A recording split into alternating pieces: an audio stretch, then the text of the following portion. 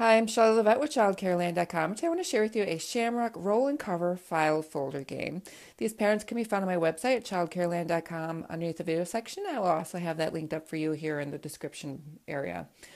Um, if you do not have file folders available, you can just take two pieces of colored cardstock paper and either bind them together if you have a binding machine, or I've just taped along the back so um, it folds in half and then opens up for that and can be stored like a file folder game and you would print the patterns out on either regular paper or cardstock paper, the ones that you glue inside the file folder. It's up to you how you want to do that. But for the cover up circles, I recommend using cardstock paper with those. And I actually have um, self adhesive magnets on the back of each one of those. And even though we're not um, on a metal cookie sheet or a tray, I like these because they're raised up and the children can pick these up easier when they have something on the back of them but certainly can use this on a metal tray or cookie sheet if you wanted to do that as well.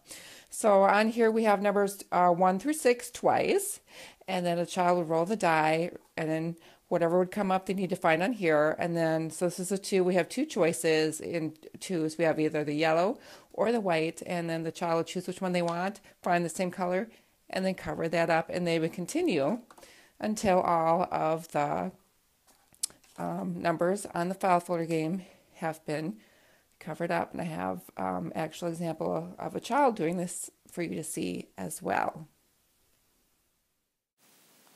In this example, the child rolled the dice and then chose what color they wanted to put on the top of the matching um, number, and then he rolled it again and then tried to find um, the shamrock with the number one on it. And he had a little bit of difficulty, but eventually he did find it and he found the matching color. And then he did one more roll, which was the number three. And he's looking on his mat to find um, the number three. He knows he had already covered up one number three, and then he successfully found the last one.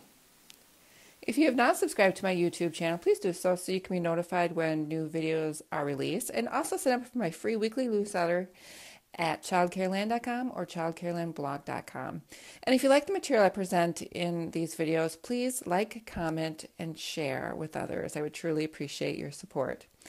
For Shamrock Roll and Cover, I'm Shelly Levette with childcareland.com. And thanks for watching.